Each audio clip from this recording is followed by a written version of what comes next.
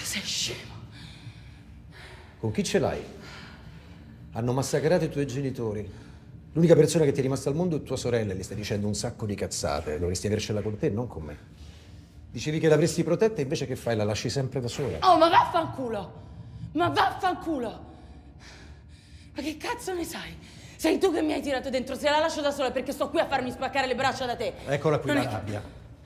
Quanto tempo ci ho messo a farti esplodere? Cinque minuti. Bravo, quindi tutta sta recita per farmi incazzare. No, non per farti incazzare, per farti vedere quanto poco ci metti a perdere il controllo. Sei un libro aperto per me e lo sarai anche per loro.